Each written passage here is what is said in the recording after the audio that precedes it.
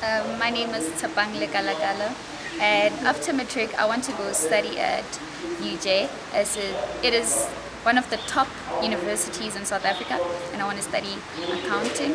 And after that I also want to study forensic auditing which is a very dangerous career but I'm willing to take the risk.